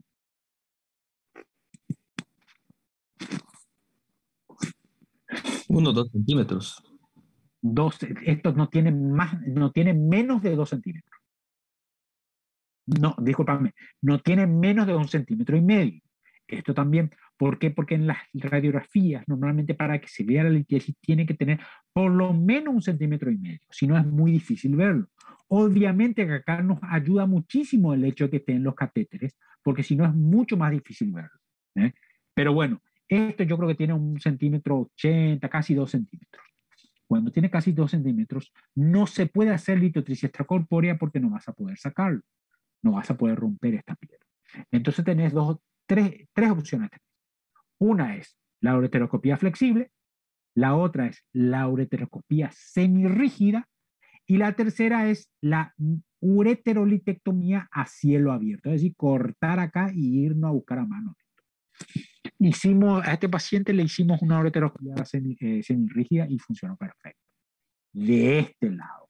Y de este lado le tuve que abrir, porque no tuve un problema con mi, con mi nefrolitotitor, con el tubito que entra acá, entonces no le pude hacer. Le tuve que hacer una lobotomía y sacar esto a mano. No es la mejor opción. Ah, yo siempre digo que a esta altura del campeonato, con la tecnología, cortarle a un paciente para sacar una piedra ya no es una victoria, es una derrota. Pero bueno, a veces tenés que hacerlo. Y, eh, doctor, ¿cuál es eh, la grosura de un, de una, de un ureteroscopio? Más de 2 centímetros. Mi ureteroscopio tiene 6 French. Se mide por French. Y normalmente es, el French es de 0,03, no, discúlpame, 0,3 milímetros. Es decir, cada 3 French tenés un milímetro.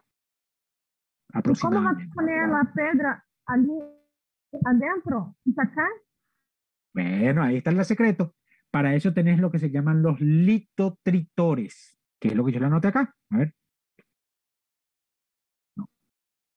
Hay que usar productos químicos para poder desmanchar la piedra. Te explico. A ver si lo tengo acá. Creo que lo, lo escribí acá. Los eh, para eso está el litotritor, que es básicamente un aparato para romper la piedra, que son varillas. A ver si lo tengo acá. No, lo tengo también. Ah, tengo uno. Déjeme dos segundos que le muestro. Dos segundos, voy a sacarlo acá y ya. Eso es lo bueno de trabajar de casa, lo tenés todo a mano.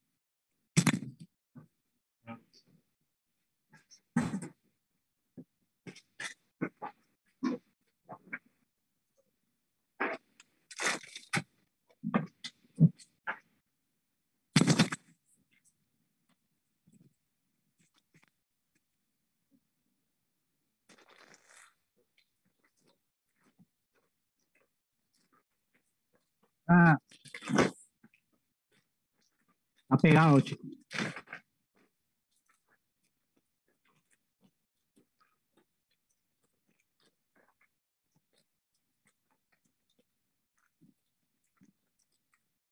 Está estéril, pero bueno, lo lamento, chicos. Vamos. Porque esto tiene que ser, ser esterilizado cada vez que se usa. Pero todo vale por la docencia.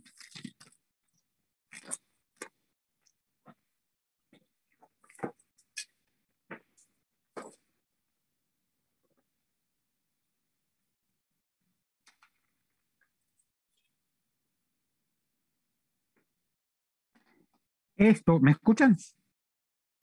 Voy a salir de acá. Sí.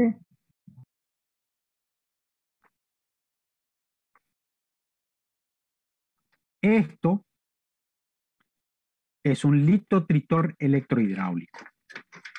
Fíjense, esta es la cable, esto va a una, esto, que es el enchufe, va a una máquina que manda una, una, onda, una onda de shock acá, un, un, es básicamente un golpe de electricidad que va hasta aquí, voy a mostrarle, hasta aquí, esto lo traduce y manda por esta varilla que tiene, fíjense el tamaño, tiene aproximadamente medio centímetro, metro, por esta varilla llega a esta punta, a ver si les muestro.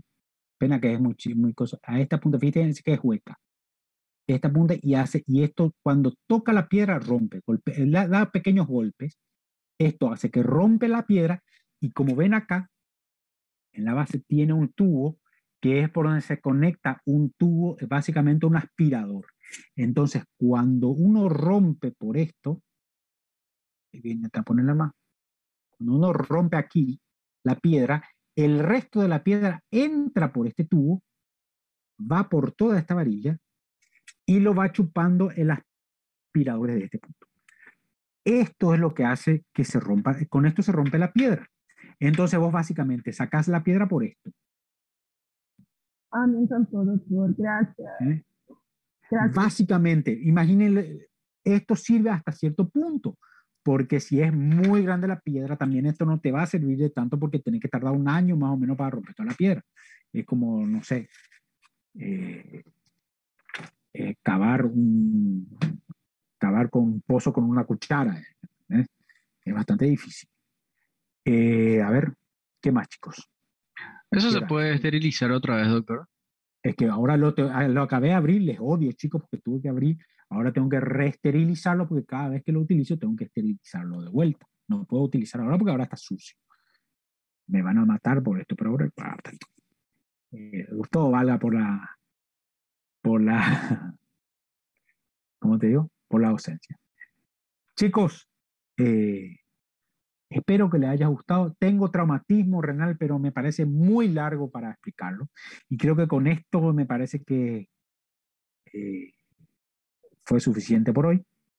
Espero que les haya gustado porque a mí me encanta esta clase. ¿eh? Y bueno, cualquier pregunta es el momento de preguntar.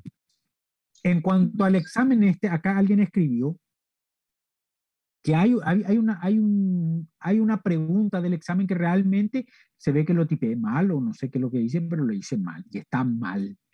Eh, les pido disculpas, voy a ver si les puedo arreglar, pero chicos, todos ya aprobaron, así que no hay, yo he visto el coso, todos aprobaron, así que estamos tranquilos. Igual voy a ver si les puedo solucionar eso y si no, a los que hicieron mal por ese error, vamos a ver la forma de compensarles en el próximo examen. ¿Estamos? ¿Alguna objeción? Yo no tengo problema. Pueden hablar, chicos, yo no tengo ningún problema. Doctor, yo tengo una... Pregunte, Sabrina. Ah, eh, por ejemplo, en pacientes que tienen litiasis a repetición, ¿cómo se les trata? Bueno, ese es otro tema. A ver si les puedo ayudar. Cuando, se cuando tenés litiasis a repetición, ¿qué pasa? Vos lo primero que tenés que pensar es que el paciente tiene una predisposición genética a las cosas. Y para eso hay un montón de estudios que se hacen que realmente son bastante engorrosos. Básicamente se, se busca esto. A ver si les muestro. Lo primero que se hace, la mayoría de las litiasis, déjenme dos segundos que voy a buscar. Eh, ¿Dónde está? Este es. ¿eh? Déjenme dos segundos.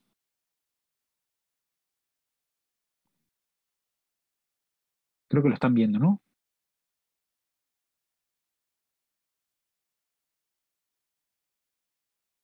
Esto. Cuando el paciente tiene litiasis a repetición, la mayoría de las veces es por alguna alteración genética que son estas. No les voy a explicar mucho sobre esto, pero esto se hace un estudio del cálculo, se le hace una especie, una biopsia renal, se le hace una, eh, se, se, colecta orina directamente de los cálices, que son procedimientos mucho más difíciles de hacer y mucho más complicados, y se busca una de estas alteraciones genéticas, porque si hay cálculos a repeticiones es porque el paciente tiene alguna, alguna alteración genética. Básicamente, se hace esto si uno quiere saber por qué. La mayoría, yo personalmente muy pocas veces lo pido. ¿Por qué? Porque los, los estudios para ver la causa son muy engorrosos, es decir, difíciles de conseguir. Uno va para allá, uno va para acá, salen caro.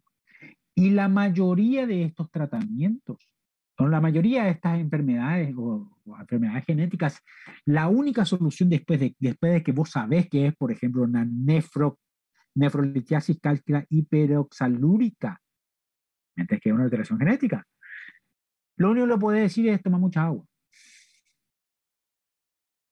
Y por ahí le puedes dar algún, algún un acidificante cálcico, un acidificante de la orina, que podría ser, por ejemplo, extracto de arándano, que es buenísimo el extracto de arándano para estas cosas. Eh, y con eso basta y sobra. Entonces es como que, a ver cómo te explico. Se puede estudiar, está bien estudiarlo, pero es caro, difícil de conseguir y el tratamiento termina siendo exactamente el mismo. Acidificar la orina y que tome mucha agua. ¿Me entiendes? Entonces es como que al pedo haces todo eso. Está bien hacerlo igual. ¿eh? Si quieres saberlo y quieres ver la forma de solucionarlo. Creo que respondí tu pregunta. Sí, gracias, doctor. Listo. ¿Alguna otra pregunta? Creo que estamos a tiempo, ¿eh? 18.30, que son 17, son dos horas ya de clase, si no me equivoco. Darle otra clase más. Yo, la, la clase que le me gustaría darle hoy, pero ya es muy larga, es traumatismo renal, que es buenísimo, también me encanta ese, ese tema, y le va a gustar a ustedes también, porque es bien práctico, todo práctico yo lo hago. Estudien la, teoría, que es lo que yo puse acá. Y bueno, chicos, eh, ¿alguna otra pregunta, alguna otra duda? que se me perdió el...